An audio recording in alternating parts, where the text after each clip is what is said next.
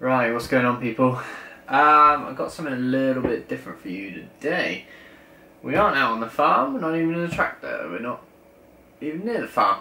Um, I'm back in my well, our office. This is my uh, place of editing, as it is. Um, probably see I've um, yeah, I've sort of started editing a bit of a video. This one's actually on here. I managed to film this one before um, the video I'm going to talk about today, even though I didn't realise I hadn't explained this yet, so that video has to come out after the video today. So today I'm showing you actually what is going on in the building. I have the plans and they are kind of massive, as you can probably see.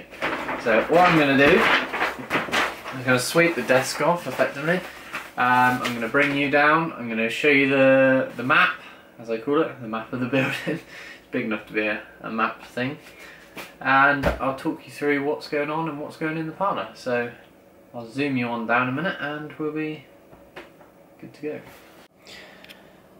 Alright then guys, so as you may be able to tell straight away, it's going to be a robotic system. So yes, we are putting in robots, um, or VMS, which is voluntary milking system, as they call it. I will grab a pen a minute, and I will talk you through what is going on here. So this is the the full full building um, from the front, which is where you see most of the pictures I take, which is where the silage pits are. So the silage pits are like over that direction over there. Um, and then this is the concrete road coming down here. And I will um, be doing a tour and I'll be telling you of which parts this is. Uh, so down here is where the uh, separator will sit. So we've got a, a big like slurry pit here. And there'll be a separator sat here which will separate the solid from the liquid and um, make life a lot easier. So coming through the building, uh, we've got slats, slatted channels all the way through the building. So we've got one, two, three, four, five, six, seven. Um, these are going to be, um, well, we've got little robot scrapers, so it's going to be fully robotic, which is nice, which park outside the building. Uh, they come in and they'll drive up and down the passages in with the cows the whole time, and they'll be scraping the dung into these little slats and the slurry will just sort of dissipate down the channels and into the separator which gets rid of all of the slurry and it's going to be an all clean nice building. Um, it's cubicles. So we got um, single row cubicles here double row cubicles single row cubicles. And you may be able to imagine this but the building will be um, sort of split up into quarters. So if you actually split the building this way along here and this way along here, each quarter will be identical. So I'm going to show you my next drawing, which is underneath this one, which is a bit blown, more blown up, so you can actually see um, what's going on a bit better. So this is a more complicated drawing here. There's a lot more going on, and it'll be easier to explain as it's uh, a little more blown up.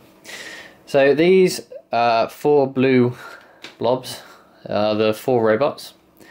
Um, the slatted area in front is the collecting yard for the, the cows to go into, and then um, then they go through the robot and they can go out to, to feed effectively. So we're going to imagine we're a cow to explain this a bit better. So over here, I'm going to, I'm going to zoom you in a bit more. So we're going to pretend we're a cow. So we're led down in the in the cubicle. So they can lie in either this row here or this row here if they're in this quarter for this robot. Um, the cows can come off the bed. They'll be able to come along here and then they'll be going into a gate here which is a separation gate. It's a two-way separation.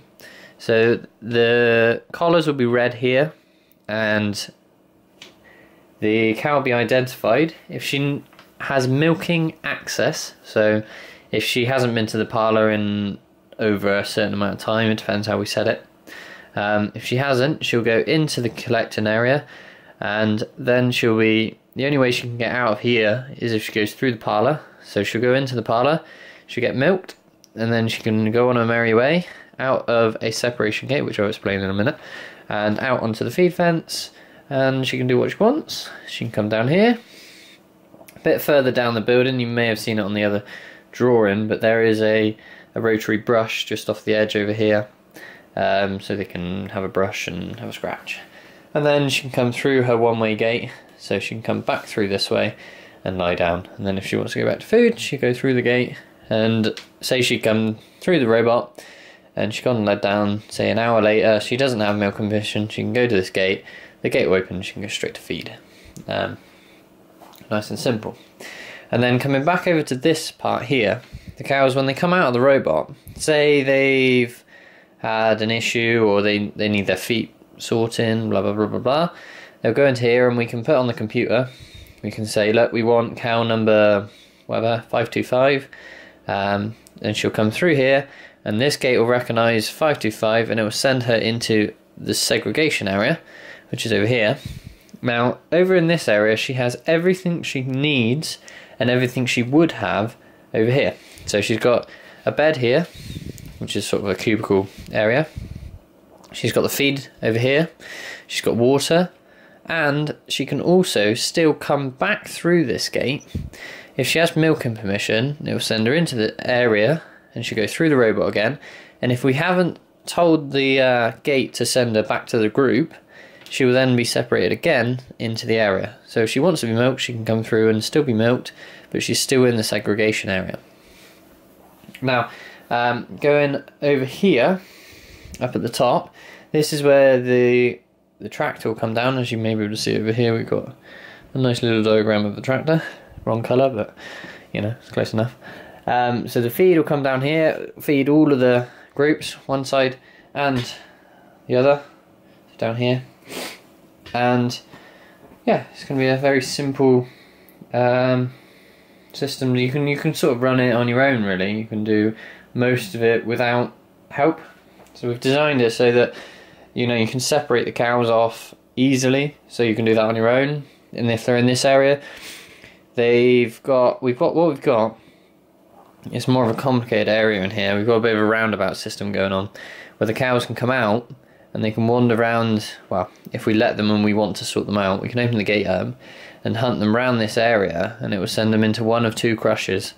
So we can hold them for either if they need an operation of a, uh, a DA or something, you can send them into one crush or we have a foot trimming crush so that if we need to do their feet, they can come around, they go into the foot trimming crush. We can sort them out there and send them back. So, yeah, that's the main design of it. And now, well, you know, it's obviously robots. We've, um, as you may have seen down at the bottom, it was TH White's, which is DeLaval. So we've gone for a DeLaval uh, robot. We've got four of them coming. Uh, we have got a the herd navigator uh, on there as well, which I will have to do in more detail once it's all running. This is a very complicated and very sophisticated bit of technology which will be explained a bit more. You can, if you want, uh, go online and have a look at it. Herd Navigator DeLaval. Um, it's a really fascinating of kit, really. So yeah, that sort of wraps up this. I will give you sort of a bit of a conclusion in a minute and um, tell you a bit more about it. But otherwise, that is the designs. Um, we've sort of come up with these designs ourselves. We've been to many farms. Um, we've been all over the, the country. We've been to Ireland as well. Um, well, mum and dad did. I stayed at home to carry on with the work and everything. But um, yeah, we went. They went to Ireland. Uh, looked around probably four farms over there. Um, we went down to Devon, Dorset. Um, I know they went up to Scotland as well. But we, we've we've we've done our uh, homework and we've uh, you know found a, a lot of sort of things we picked up on and what the best things to do for us were and yeah so our designs I'll zoom you back to me in the chair and um, carry on okay so welcome back to my chair um, yeah hopefully um, found this video useful I've finally told you what we're doing and the plans for the future and actually what's going on out there. So maybe when I show you um, sort of the building side of things, it will make a bit more sense to you. Um, so you'll be able to see that the, the tanks under. Oh, there's four tanks, and um, yeah, you can tell that that's actually where each robot's sitting, and I'll be able to talk you through it a bit more. Now you know what's going on, and I can tell you where the dairy's going and how that's all going to work. Um, we've got we're not having a bulk tank, we're having a silo, so you know we don't have to build a little shed around a, a tank. The tank is made for outside, and it is a silo. Um, there's feed bins and generators, and there's a lot to talk about and a lot to show and a lot to still happen and develop. So hopefully you enjoyed this video and found it useful and sort of cleared up a few things that you may have been wanting to ask and whatever. And yes, I will tell you actually, um, each robot is going to hold 60 cows. So there's four robots. We're going to aim to be at, like I said, 240 cows. Um, it's all exciting times and I really do hope it goes well. And yeah, I think that's about about all I needed to say and um, uh, what is going on really. So yes, I will um, catch you later and I will show you, it'll be coming out very soon as well. I will go and film that either today or tomorrow, it depends on the weather. I like to have a nice bit of sunshine, it, helps a lot. Um, so yeah, I will show you around the building and I'll explain it whilst I'm out there a bit more in detail. Otherwise, I hope you enjoyed this video and I will catch you next time. Cheers.